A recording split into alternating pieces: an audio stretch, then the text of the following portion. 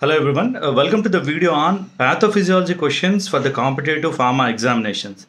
Uh, the following questions I have taken from 2019 ESI pharmacist exam, uh, which will be useful for all competitive examinations.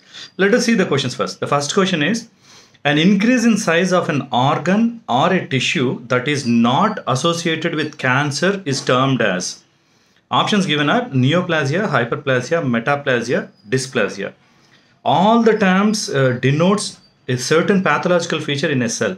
Let us understand one by one. See the question asks about increase in size of an organ or tissue without associated with cancer. The first word is neoplasia is, is another synonym for cancer. Neo means new plasia means increase in number of cells.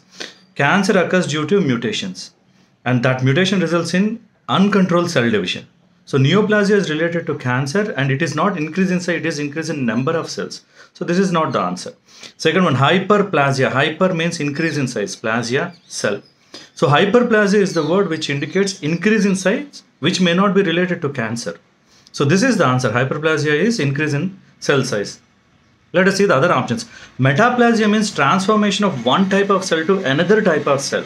This is usually seen in cancers also. Uh, so metaplasia means transformation of one type of cell to another type of cell.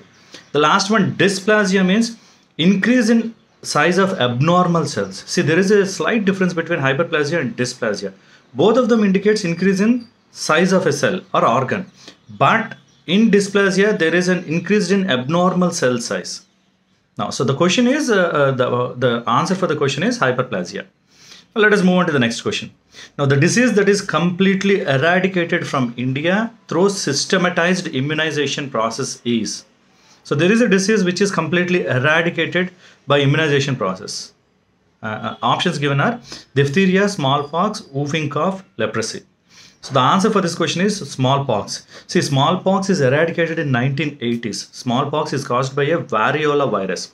It is very fatal. It has caused a lot many deaths. So it is systematically eradicated by immunization process. The other options are diphtheria is caused by a bacteria called Corynebacterium diphtheriae. It causes apnea, uh, swollen uh, neck, causes respiratory problems. The option, other option, whooping cough is caused by Bordetella pertussis. Again, it is related to respiratory tract problem caused by bacteria. Leprosy, Mycobacterium leprae, mm, it causes leprosy. So the answer, the disease which is eradicated is smallpox. Let us move on to the third question. In Alzheimer's disease, which peptide level is elevated? Now, Alzheimer's is a, is a neuro, uh, neurological disease wherein uh, the major characteristic is amnesia, loss of memory, and certain neuronal loss is there. So it is uh, uh, uh, which peptide is elevated? The options given are alpha hemoglobin, alpha amino adipate, beta amyloid, beta alanine.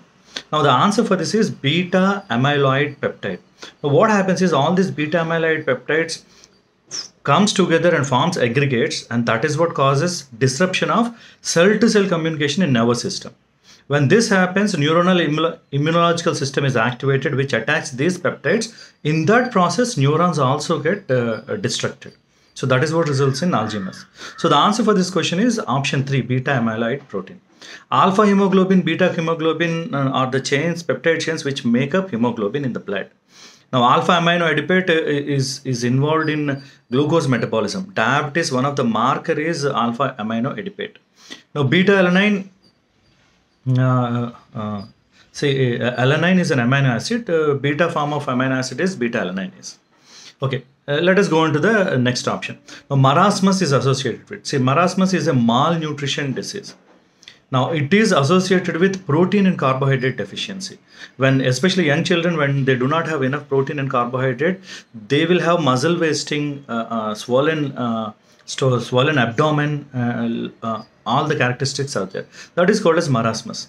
Whereas one more disease is there, kwashiorkor. Uh, it is characterized by protein deficiency.